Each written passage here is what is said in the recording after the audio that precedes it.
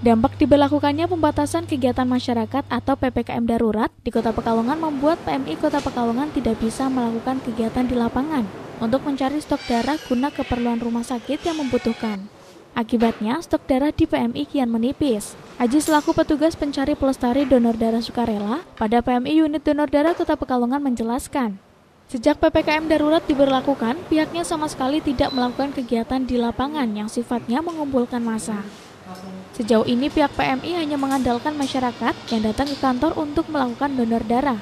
Itu pun tidak begitu banyak setiap harinya. Sehingga pihak PMI terus mengajak masyarakat melalui broadcast WA untuk mengingatkan para pendonor yang telah tiba waktunya untuk melakukan donor kembali.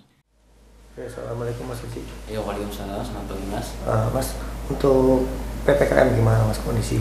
Ya, untuk pengaruh PPKM sendiri untuk di kita, khususnya PM Kota Pekalongan, ini kita stoknya jelas mengalami penurunan karena hampir kegiatan kita keluar itu tidak ada.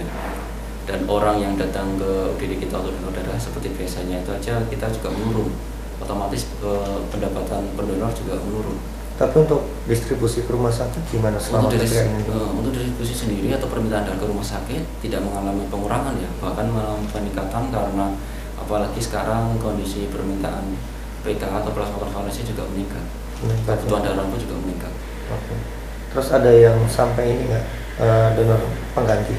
Eh, kita upayakan jangan sampai ada donor pengganti jadi ketika ada stok yang benar-benar emergensi kita akan melakukan pemanggilan secara WA broadcasting jadi akan melakukan pem- pemanggilan ke para pendonor dan juga pendonor Agar Lazuardi, Batik TV, melaporkan.